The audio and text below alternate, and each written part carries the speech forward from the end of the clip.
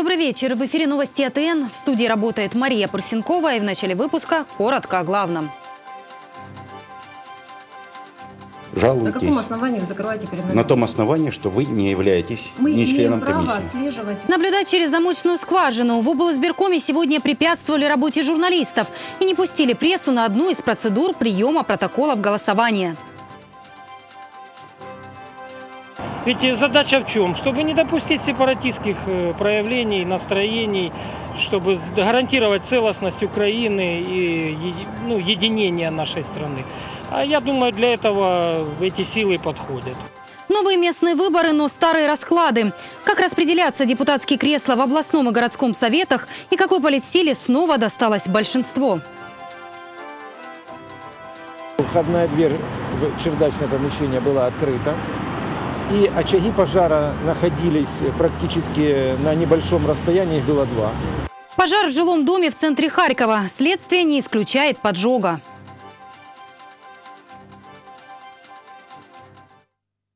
Теперь подробнее. В городской избирательной комиссии заканчивают принимать, в областной только начинают. Сегодня облсберком принимал протоколы у первых районных комиссий из Харьковской области. Но заснять весь процесс журналистам не удалось. На электронную сверку протоколов съемочную группу не впустили, закрыв дверь на ключ. От вчерашнего ажиотажа в городской избирательной комиссии не осталось и следа. Сегодня члены комиссии принимают тех, кто не захотел вчера достаивать очередь или возвращался для уточнений. Таких, говорят, в горосберкоме было всего около пяти. Загальна кількість голосів виборців, поданих за місцеві організації політичних партій 1211. Є підписи голови заступника секретаря, членів комісії, печатка. Які будуть пропозиції? Прийняти. Хто за те, щоб прийняти даний протокол, прошу проголосувати. К вечеру 26 октября горосберком успел отпустить около 520 комиссий. Оставшаяся на ночь рабочая группа приняла еще одну комиссию. Сегодня, к середине дня тех, кто еще не подоспел со своими протоколами, оставалось около 60 комиссий. Так что завтра, говорят в горосберкоме, смогут уже перейти к протоколам оттик по выборам мэра и депутатов горсовета. Я думаю, что мы сегодня должны принять все протоколы отдельничных выборчих комиссий города Харькова. Затем мы их обработаем и передаем в областную избирательную комиссию. А вот в облсберкоме обошлись без очередей. Сегодня тут только начинают прием протоколов по выборам депутатов в облсовет из районных комиссий области. Каждая назначено свое время. Члены облсберкома будут принимать их, не прерывая заседание, через каждые полчаса В том, что справятся быстро, уверены. Комиссий всего 34. У нас є 5 днів на те, щоб прийняти протоколи всіх районних е, територіальних виборчих комісій, і 10 днів е, з моменту голосування, так е, на те, щоб встановити е, підсумки результатів виборів. На утро о своей готовности прибыть в облсберком сообщили три комиссии. Раньше всех успели представители Краснокутской районной комиссии. Говорят, особых проблем с подсчетом не возникло, а вот физически было тяжеловато. Выдержать такой режим и график работы не каждому под силу, а в комиссии, а, извините меня, простые люди находятся. И выдержать двое суток на ногах без сна, без отдыха – это очень тяжело. Потому что начала комиссия работать с 7 часов утра 25 числа и закончили вчера глубокой ночью. Процедура приема стандартна. Сначала проверяют наличие всех необходимых документов, после оглашают протоколы. Затем эти протоколы два доверенных члена облсберкома относят на электронную сверку в соседнюю комнату. Однако проследить этот процесс съемочной группе АТН не удалось. В комнату, где проводилась сверка, журналистов не впустили, закрыв дверь на ключ.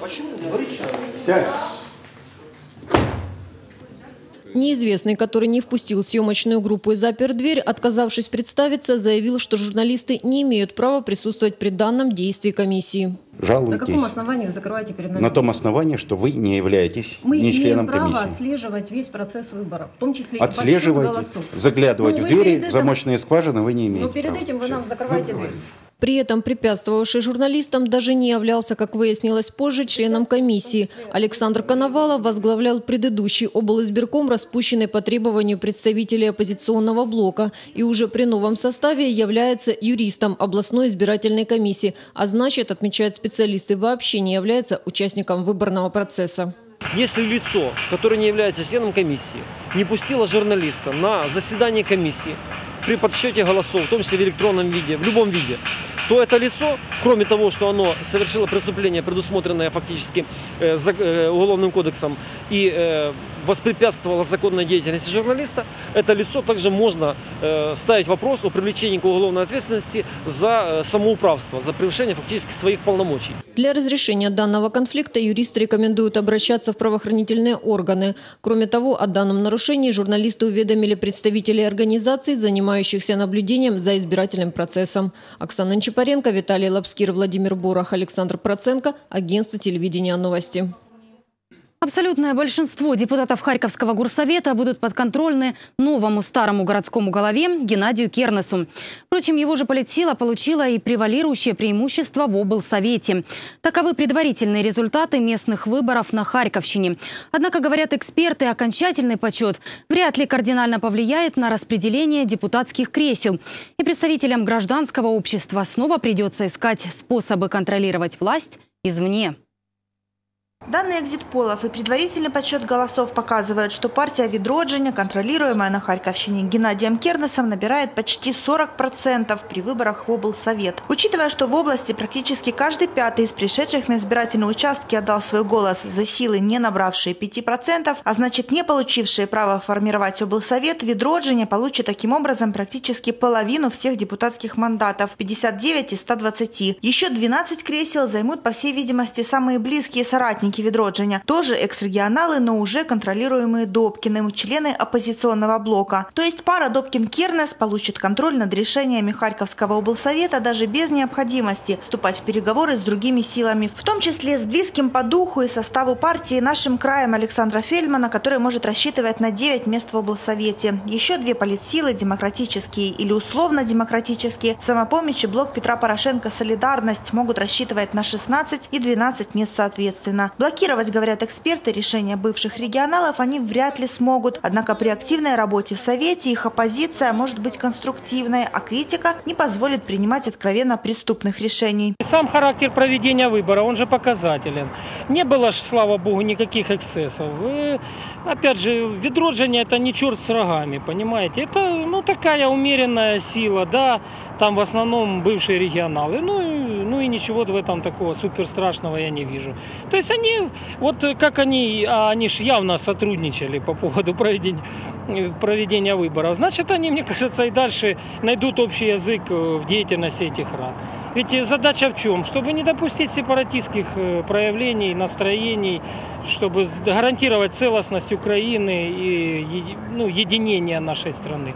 А я думаю, для этого эти силы подходят. Подходят. Они не радикальные, умеренные. При этом губернатору Игорю Райнину, который не сможет положиться на поддержку большинства, говорят эксперты, безусловно, придется работать с оглядкой на политических оппонентов и договариваться с городским головой. Ведь в отличие от председателя ХОГА, Геннадий Кернес сможет опереться на своих соратников. Депутаты Видроджиня, за которых проголосовало более 50%, не просто станут большинством, а получат абсолютное преимущество и займут в горсовете по предварительным расчетам 57 мест из 84. В то время как демократы, самопомощь и блок Петра Порошенко «Солидарность» получат по 19,8 мандатов соответственно. Нового ничего на, этих, на этих выборах не произошло. Сформировался состав областного и городского совета по тому же принципу, по которому и был. Партии Ведроджине принадлежит подавляющее большинство. И если это подавляющее большинство в горсовете составляет более чем 50%, нужно отметить, что Геннадию Адольфовичу ничего не придется менять. Решающее слово за ним, и результаты он будет получать такие, которые бы он хотел. Если, будучи на уголовно-судебном крючке у Банковой, считают эксперты, Кернес вряд ли решится в ближайшее время на откровенные сепаратистские демарши, то распил бюджета и земли в Харькове может попытаться продолжить. Даже если в горсовет сможет войти наш край, чьи результаты сейчас находятся в пределах погрешности, это вряд ли кардинально повлияет на расстановку сил, говорят политологи. Противостоять ему могли новые демократические силы, созданные из активистов гражданского общества и волонтеров. В сумме за эти партии проголосовало около 9% пришедших на выборы, и вместе они могли бы пройти в облы и горсоветы. Однако договориться молодые политики так и не смогли. Пошли разными пятью проектами, в результате чего ни одна политсила не смогла преодолеть проходной барьер. Демократы не смогли объединиться. Я лично предлагал э, каждой молодой непарламентской партии э, объединяться, четко понимая, что победа возможна исключительно при объединении всех ресурсов – финансовых, человеческих, организационных. К сожалению, э, ну, почти все лидеры э, так называемых демократических партий четко понимая, что у них нет ни единого шанса пройти в городской совет самостоятельно, тем не менее предпочли самостоятельный поход ради какой-то глобальной перспективы. Но, к сожалению, это не в интересах харьковчан. В итоге теперь проигравшие возлагают свои основные надежды на коллег из самопомощи, обещают не оставлять волонтерство и общественные проекты, а также самоорганизоваться и, возможно, объединиться перед парламентскими выборами, чтобы суметь донести электорату необходимость прийти на участки и выбрать свое будущее. Прошла хоть какая-то часть демократических э, силы, то есть часть э, депутатов от самопомощи. Мне очень надеюсь, что все-таки их партийные внутренние проблемы не сделают так, чтобы не прошли, то есть те люди, которых мы считаем достойными, там Виктория Милютина, Татьяна Бедняк, которые реальные волонтеры, которые реально работают. Тарас Титенко, опять-таки, чтобы у них внутренние их перестановки в списке не заставили убрать их, а поставить кого-то лояльного себе. Мы очень надеемся, что именно эти люди будут там. И что они, собственно говоря, будут иметь доступ, во-первых, к ситуации внутри Э, к актам, которые доступны только депутатам Горсовета, которые мы сможем также контролировать. Мы очень надеемся, что все-таки э, мнение демократической части Харькова через них можно будет доносить, потому что мы все равно с ними сотрудничаем. Именно влияние гражданского общества, считают эксперты, делает результаты выборов не настолько критичными. Тем более, что в парламенте активно обсуждается механизм отзыва депутатов, что может повлиять на их решения. А также теперь депутаты местных советов примут участие в формировании местных органов власти, и их голоса не смогут проигнорировать ни в Харьковском городском, ни в областном, ни в местных советах, в части которых по региону новые силы все же смогли пройти. Марина Николаева, Александр Проценко, агентство телевидения «Новости». Пожар в жилом доме в центре Харькова. По предварительной версии, причиной возгорания пятиэтажного здания стало неосторожное обращение с огнем. Не исключает милиция версию поджога. Это уже пятый случай пожара в жилых домах в центре города за последние три месяца. В теме разбиралась Сина Степанишина. Дом по улице Каразина, 17 загорелся накануне вечером. Информация о пожаре дежурному ГСЧС поступила около половины восьмого. Звонивший уточнил, что горит пятиэтажный жилой дом. На место происшествия сразу же отправили 8 подразделений спасателей, включая учебное подразделение курсантов, а также три автолестницы. Когда же спасатели прибыли на место происшествия, с крыши повалили огромные клубы дыма. Площадь пожара уже составляла 450 квадратных метров. Началась эвакуация жильцов. В это же время другая часть сотрудников ГСЧС тушили пламя. В 10 вечера пожар был локализован, а в начале 12 полностью ликвидирован. Весь сегодняшний день на месте ЧП работала следственная оперативная группа. Эксперты, как рассказали в управлении ГСЧС в Харьковской области, обратили внимание на то, что входная дверь на чердак была открыта, а потому теперь не исключают и версию поджога. Обратили внимание на то, что входная дверь в чердачное помещение была открыта и очаги пожара находились практически на небольшом расстоянии, их было два. Э, то здесь рассматривается основная версия, это, конечно, не, это неосторожное обращение с огнем неизвестного лица, но в, чем, в том числе рассматривается версия поджога. У напуганных жильцов пятиэтажки своя версия случившегося. Некоторые уверяют, что после пожара у них появится еще один этаж, как это уже было в других случаях, а некоторые категорически это отрицают. Вот все муссируют тему последних, скажем так, пожаров по центру, что якобы для того, чтобы пристроить верхний этаж. Ну, честно говоря, мало в это верится, потому что, ну, во-первых, дом довоенный, что здесь пристраивать, не знаю, вообще, ну, таких, скажем, тут враждебных каких-то отношений нет. Э, ну, не, вообще, вот, может быть, короткое замыкание. Больше нет. Никогда здесь не было, никогда сюда никто не приходил, не, знаете, как всегда видно, когда ты там ходишь, это присматривают. Нет, здесь такого нет. Тем не менее, это уже пятое возгорание, произошедшее в пятиэтажных домах в центре Харькова. Так, в июле этого года в течение недели пожары произошли в четырех жилых домах в переулке Артема, на улице Культуры, Чернишевской и на Петровского. В последних двух случаях Киевский райотдел милиции тогда открыл уголовное производство по статье «Умышленная порча имущества». И хотя уже прошло три месяца, расследование пока еще не дало окончательных результатов. На данном этапе э, досудебное расследование проводится, так как э, назначен назначен комплекс экспертиз, которую мы дожидаемся.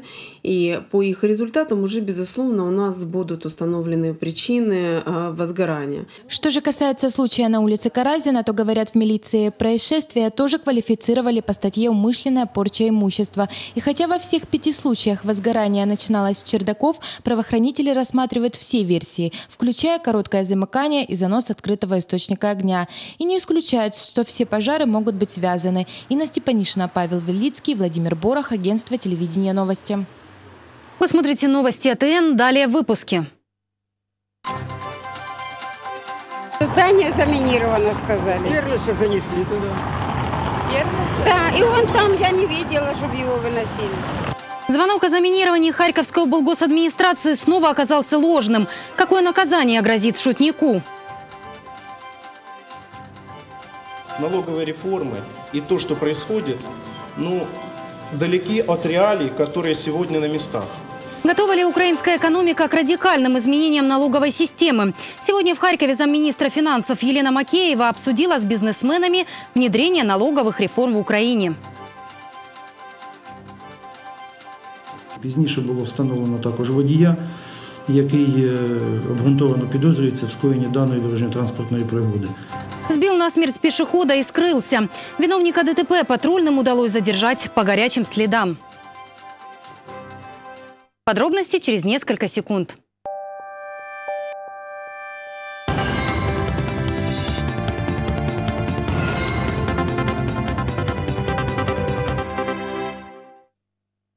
О заминировании сегодня снова прервал работу чиновников Харьковской облгосадминистрации. 540 человек были эвакуированы из здания. После обследования взрывотехниками более 10 тысяч квадратных метров территории выяснилось, сообщение было ложным. Дежурную часть Киевского райотдела милиции от оператора службы 102 сегодня утром поступило сообщение о том, что здание облгосадминистрации заминировано. Анонимный звонок прозвучал около 10 часов. Примерно в это же время, говорят очевидцы, в областную администрацию приехал и харьковский мэр Геннадий Кернес. Мы пришли на прием сюда, и нас оттуда попросили уйти. Потому что здание заминировано, сказали. Перлиса занесли туда. Да, и он там, я не видела, чтобы его выносили. К месту происшествия выехала следственно-оперативная группа Киевского райотдела милиции, кинологи, взрывотехники и эксперты. Правоохранители оцепили здание, однако движение транспорта не перекрывали. Для охраны общественного порядка вызвали еще и патрульную полицию. Поступило заявление о том, что здание облгосадминистрации было заминировано. Вот, и мы приехали сюда для охраны общественного порядка. Вот, э, сейчас в данный момент работают эксперты. Люди эвакуированы и работают эксперты. Всего из облгосадминистрации эвакуировали 540 человек. Взрывотехники осмотрели более 10 тысяч квадратных метров, но никаких взрывоопасных предметов так и не нашли. Очень детально было осмотрено шестиэтажное здание, 6 все этажей и прилегающей территории, и э, осмотр составил где-то около 10 тысяч 800 квадратных метров данной территории. Никаких взрывных устройств и э, веществ, которые э, опасных э, милиция не нашла. Вот, э, данное событие внесено в единый реестр досудебных расследований за частью 1 статьи 259 э, о Э, заведомо ложном сообщении Уголовного кодекса Украины. Санкция данной статьи предусматривает до 6 лет лишения свободы. Сейчас проводятся следственные действия. Милиция ищет лжеминера. Инна Степанишина, Павел Велицкий, агентство телевидения новости. Упрощение системы налогообложения и снижение процентных ставок. Сегодня в Харькове заместитель министра финансов Елена Макеева обсудила с представителями бизнеса внедрение налоговых реформ в Украине. Последние настаивают на радикальных изменениях налоговой системы. В правительстве уверяют, украинская экономика пока к таким мерам не готова. Споры вокруг реформ налогового законодательства в Украине не утихают уже больше года. Ранее под руководством главы налогового комитета Верховной Рады Нины Южаниной был разработан законопроект изменений в налоговом кодексе, который был внесен на рассмотрение в парламент как раз накануне, 26 октября. Депутаты предложили снизить налог на доходы физических лиц до 10%, налог на добавленную стоимость до 15%, единый социальный взнос до 20%, а также перейти к налогу на распределенную прибыль по ставке 15%. 15%. Однако в Министерстве финансов уверяют, комитетский законопроект может обойтись бюджету потерями в более чем 200 миллиардов долларов и опасаются, что, возможно, даже приведет к приостановке финансирования Украины от Международного валютного фонда. Поэтому в Министерстве решили предложить так называемую альтернативную реформу и начать с установки большинства ставок на уровне 20%. Ми розуміємо, що будь-який підприємець він сьогодні хоче самостійно розбиратися в податковому законодавстві, рахувати, скільки він сплачує податків. Тому модель, запропонована Міністерством фінансів, яка передбачає пласку лінійну ставку 20%, вона є простою, зрозуміло для всіх. Однако эксперты и представители бизнеса утверждают, такие предложения правительства могут еще больше усложнить систему уплаты налогов, а также будут и дальше препятствовать развитию предприятий. Жалуются из-за того, что большинство налоговых ставок в Украине, в частности НДС, предприниматели платят авансом, у них сокращаются объемы производства и реальная прибыль. Поэтому требуют от представителей власти реальных предложений по реформам налогового кодекса. Мы платим авансовые налоги на прибыль, у нас сокращаются объемы производства, у нас реальная прибыль сокращается, но мы авансовые платим по базе предыдущих периодов. И поэтому получилось таким образом. Мы заплатили авансовые налоги, и мы заплатили пошлину на импорт. И пошлину на импорт заплатили. Мы понимаем, что бюджет получил, но при этом производство может развиваться? Не может. Налоговые реформы и то, что происходит, ну, далеки от реалий, которые сегодня на местах. Трудно даже сегодня проанализировать, в каком состоянии находятся те или иные предприятия. Представители бизнес-среды утверждают, первым шагом по радикальным реформам в налоговом законодательстве может стать изменение системы начисления НДС, по примеру мировой практики, когда налог платится не заранее, а уже по факту полученной прибыли в конце квартала. Именно это было одним из основных требований налогового Майдана. Как утверждают эксперты, ныне действующая система ведет к нехватке оборотных средств на производство, что тормозит развитие предприятий. В свою очередь в Министерстве финансов обещают учесть замечания представителей бизнеса в своем законопроекте. Лариса Говина, Андрей Домовой, агентство телевидения новости. Накануне в Харькове произошло три серьезных ДТП с пострадавшими и погибшими. Патрульным удалось оперативно задержать водителя, который насмерть сбил пешехода и скрылся с места происшествия. Три серьезных ДТП за несколько часов, одно со смертельным исходом. Аварийный вечер начался накануне около шести. В районе 44-го дома по улице Володарского водитель автомобиля Ford Sierra не справился с управлением и влетел в электрический столб. Водителя и пассажира на скорой доставили в больницу. Следующая авария произошла около 10 вечера. Ауди двигала со стороны улицы Шевченко по Героев Труда в направлении улицы Барабашова. В районе второго дома водитель совершил столкновение с Hyundai Tucson, который ехал впереди в попутном направлении. За рулем последнего находилась женщина 56-го года рождения. Внаслідок даної дорожньо-транспортної пригоди травми отримала саме водій даного автомобіля Hyundai, а також пасажир з автомобіля Audi.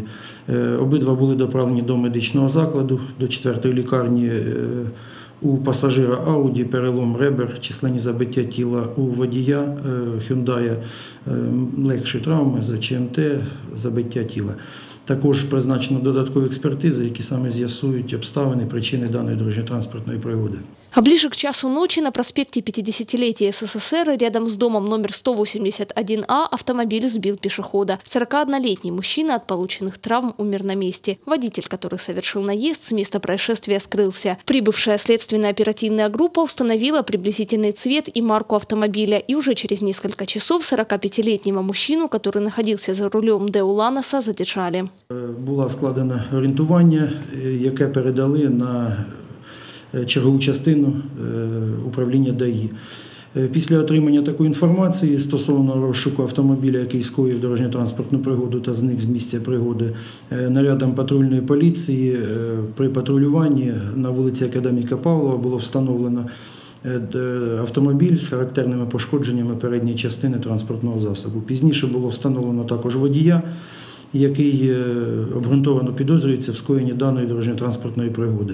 Уголовное производство начато по части 2 статьи 286 Уголовного кодекса Украины «Нарушение правил безопасности дорожного движения лицом, управляющим транспортным средством». Задержанному автомобилисту грозит лишение свободы на срок от 3 до 8 лет с запретом управлять транспортными средствами на срок до 3 лет или без такового. Был ли водитель в состоянии алкогольного опьянения, должны показать медицинские экспертизы. Алена Сорока, Павел Велицкий, агентство телевидения новости. Таким был вторник, 27 октября. Больше новостей на нашем сайте atn.ua. В студии работала Мария Парсенкова. Всего доброго и до встречи.